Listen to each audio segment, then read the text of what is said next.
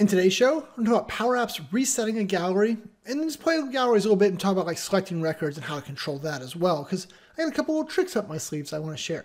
But first, here's our intro. Hi, my name is Shane Young with Power Apps 911. Those guys.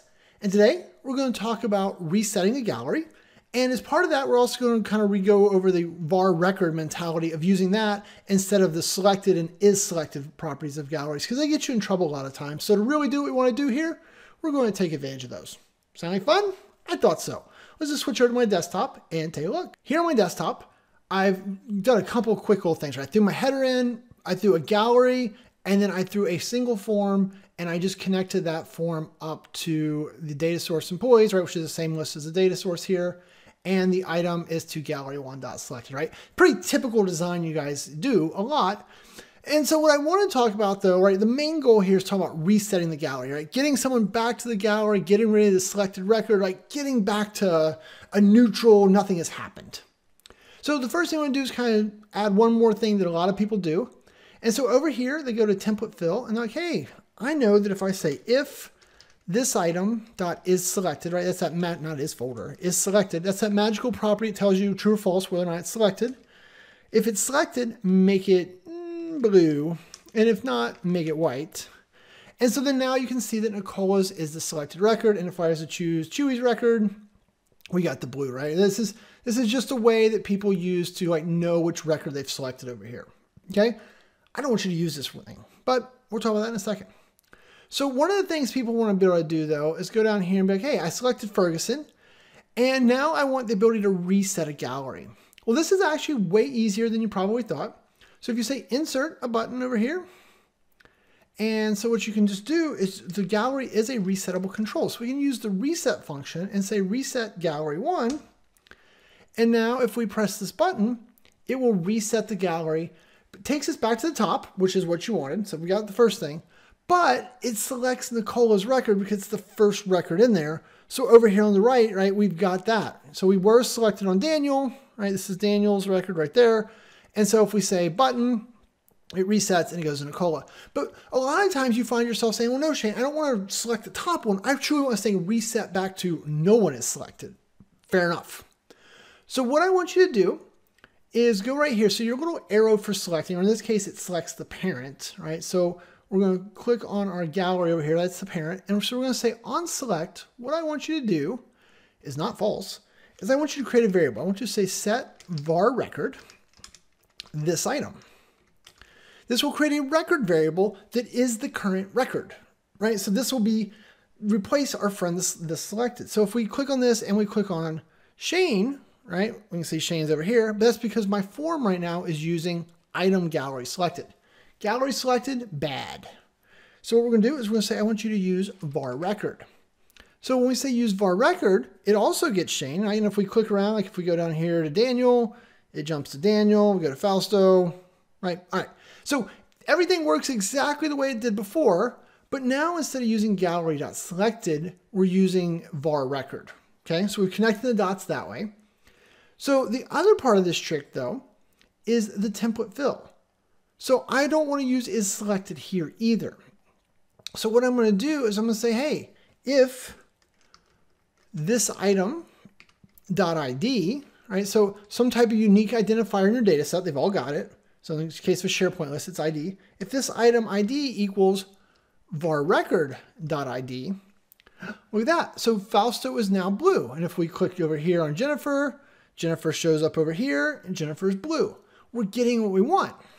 Now what's confusing though is if we reset now, Nicola is at the top, so we got back to the top, but Jennifer is still selected. So then all you have to do is you go here to your little on select and say, hey, before I reset the gallery, what I want to do is I want to say set var record, not var p, var record to be blank. Boom, boom, boom, boom, like so. And so then now when you press it, no one is blue, and there is no item to display over here because there is no selected record. There's nothing in var record. Now we choose Rachel, and we're right back and running. Oh, now we'll go down here to Quentin and his Superman picture. Looks good. Reset everything. Back to nothing. If you want to be super complete, what you also might do here with the form is to say, hey, visible, or sorry, for, uh, var form. I want your visible property to be um, not is blank var record. So I want the form to be visible if it's not um, there. So right now it's not there. We choose me, it shows up, very cool. We reset, it goes away. And then just for fun, maybe we'll have a, another little message down here and we'll say, hey, um, you know, please select a record to get started. Awesome. We'll do something like this. We'll make it bigger. We'll make it like 24 point and semi-bold. Well, I don't know. I'm just making things up, folks. There you go. We'll kind of throw this in the middle somewhere. And so then we just say, hey, for you, your visible property is, is blank var record. Boom. So there you go. So now we're in good shape. Oh, you know what? I found person I was looking for, looking for Steven. Awesome. We reset. Easy peasy lemon squeezy. So one of the things I would really love to instill upon you, like we've shown this in a few different videos, but on select using var record this item is a universal way to keep yourself out of trouble. Using gallery.selected opens you up to all these little fringe scenarios where the gallery can get refreshed while you still expected it to be selected and you're counting on something still being clicked on another screen. That always scares me. So I never use gallery.selected. I always use var record this item. Then it makes things like making these template colors, right? We, we showed you how to recreate that, showed how to use it with a form. We could use it with a patch, right? We haven't broken anything. Just everywhere now that you would have used gallery.selected, you use var record, one for one, same exact thing. And you don't have to worry about var record changing until something like this where you clicked on the button, you said, hey, I want var record to be blank. I want to change it. So there you go. That's my fun for the day.